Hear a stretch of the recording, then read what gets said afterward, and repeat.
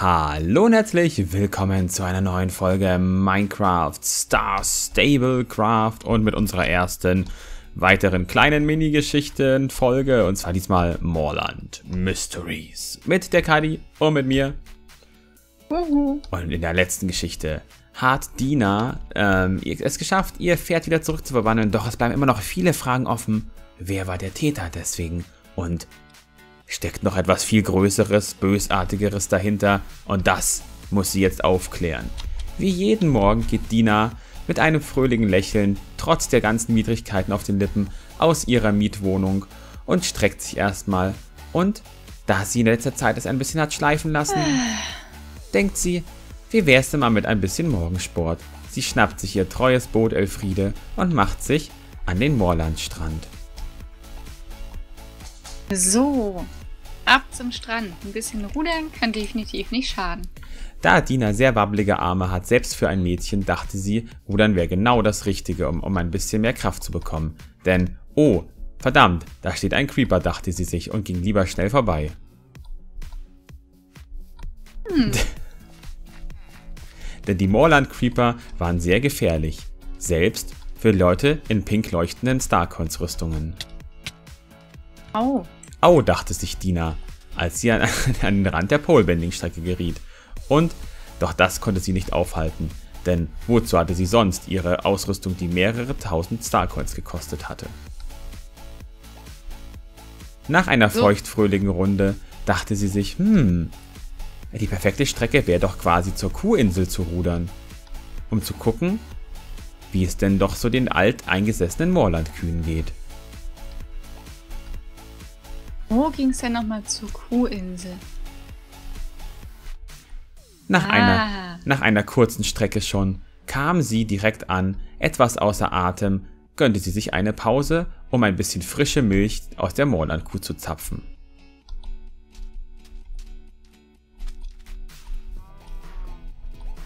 Jetzt ein bisschen Milch, das ist ja genau das Richtige. Die perfekte Mischung war äh, 0,5 Liter Rosi, 0,5 Liter ähm, Bertha. Hier, von Bertha habe ich jetzt schon was, jetzt muss Rosi noch herhalten. Des Weiteren mischte sie das Ganze mit ein bisschen salziger Meeresbrühe und schon kam der perfekte Energietrunk heraus. Isotonisch und absolut vegan. So, das sollte jetzt reichen, damit ich frisch gestärkt wieder zurück kann. Dachte sie sich zumindest, denn vegan war dies wirklich nicht. Aber egal, sie ruderte zurück und mit einem feuchtfröhlichen Lied auf den Lippen reckte sie sich der Sonne entgegen und der Tag war quasi schon ein wunderschöner für diese, für diese Lina. eine Bootsfahrt, die ist lustig, eine Bootsfahrt, die ist schön. La la la la la la la la la la la la la la. Ja, Rückzug geht's auf jeden Fall schon deutlich schneller. Entweder bin ich stärker geworden oder es ist die Strömung. Doch der Alltag für Dina war nicht nur Spaß. Denn als sie im Moorland zurück ankam, dachte sie sich, wie schaffe ich das jetzt nur? Wie finde ich heraus, was mit meinem Pferd passiert ist? Wer war der böse Übeltäter? Ich brauche eindeutig Hilfe. Wie könnte ich denn jetzt im Nachhinein noch rausfinden, wer dafür verantwortlich gewesen ist, dass sich Morningstar verwandelt hat? Das darf nicht nochmal vorkommen. In Richtung Hm. Dorf fragte sie sofort den ersten, den sie sah. Hallo Ten. Sag mal, du hast es doch jetzt bestimmt mitbekommen, dass Morningstar in Lama verwandelt wurde. Hast du irgendeine verdächtige Person hier gesehen oder zumindest eine Idee, wer was dazu wissen könnte? Hm, das ist eine gute Frage. Aber ich bin da leider nicht wirklich qualifiziert zu. Aber ich habe gehört, dass in einem der benachbarten Bungalows von dir der Top-Ermittler von CSI ähm, Foto, äh, Pinter eingezogen ist. Vielleicht fragst du am besten da mal nach. Dann höre ich da einfach mal nach. Danke dir, Ten. So, Motiviert ging Dina zu den Bungalows und dachte sie sich, wieso habe ich das denn gar nicht bemerkt? Das war doch direkt neben mir. sehr, sehr merkwürdig. Ich habe gar nicht mitbekommen, dass jemand bei mir eingezogen ist. Hallo, herein.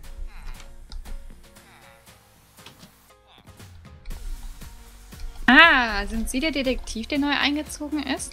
Ja, guten Tag, der Detektiv Bob Klugmann, mein Name. Was kann ich für Sie tun? Mein Pferd wurde letztens in ein Lama verwandelt und damit das nicht nochmal passiert, wüsste ich gerne, woran das gelegen hat. Hm. Ja, das habe ich schon gehört. Das ist eine sehr ähm, schwerwiegende Anschuldigung hier. Da müssen wir auf jeden Fall mal nachprüfen. Wir müssen die Spuren untersuchen. Am besten treffen Sie mich heute Nacht hier nochmal an derselben, an derselben Stelle. Bis dahin habe ich vielleicht schon ein paar genauere Informationen für Sie. Rüsten Sie sich okay. am besten mit einer Fackel aus, damit wir das Ganze dann ähm, besser begutachten können. Dann schaue ich heute Abend nochmal vorbei. Dankeschön. Dina ging zurück in ihren Bungalow, denn es war langsam auch schon Zeit für Morlands Next Top Model, die Sendung, die Dina am liebsten schaute. So setzte sie sich an ihren treuen Fernsehapparat und bemerkte gar nicht, dass einige Schreie aus dem Nachbarzimmer ähm, durch, die, durch den Tag halten. Ach, mal schauen, was diese Woche passiert, nachdem Greta sich letzte Woche so über Julias neue Jacke aufgeregt hat. Nanu, was ist denn das nebenan? Kann man nicht mal in Ruhe Fernseh gucken. Spuren? Zwar wurde gerade gesagt, dass Dina es nicht bemerkte, aber dennoch war Dina so aufmerksam, dass sie es dennoch bemerkte. Und mit einem Schwups war es auch schon Nacht. Und Dina bemerkte, dass, dass der Detektiv nicht mehr da war. Etwas war anders. Sie fand Blut auf dem Boden. Das war nicht normal. Wenn der Detektiv, wenn ich sollte ihn doch heute Abend treffen. Und diese Blutspuren, sollte er entführt worden sein? Dina schaute sich im Dorf um. Es war ruhig wie immer. Wo hm. konnte der Detektiv nur hingegangen sein? Sie überprüfte Eigentlich? den Ort nach Spuren. Immer wieder fand sie vereinzelt kleinere Blutstropfen, die wie einen Weg zu scheinen, äh, die wie einen Weg zu malen in Richtung des Stalls zeigten. Hm. Wenn ich den Blutspuren folge, dann müsste ich ja irgendwas finden. Mal hier die Leiter rauf? Die Blutspuren zeigten weiter nach oben. Totenstille hallte durch die Nacht. Und eine gruselige Atmosphäre deutete in Richtung des Dachbodens. Was war hier nur passiert? Sind auch noch Spuren hier hinten. Da fand sie ihn, den blutüberströmten Körper des Detektivs. Seine Arme weit voneinander gespreizt und völlig voller Blut. Oh mein Gott, was ist denn hier passiert? Eine gruselige und traurige Stimmung war das. Niemand musste lachen.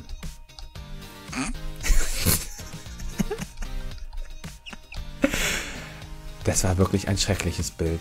Gerade noch hatte sie so viel Hoffnung in ihn gesetzt und dann fand sie seine Leiche hier. Was war nur passiert? Nun galt es noch ein weiteres Mysterium aufzuklären und sie war kein Stückchen weiter, was mit ihrem treuen Ross passiert war. Hatte der böse Täter auch den armen Detektiv umgebracht? Doch das erfahren wir erst beim nächsten Mal.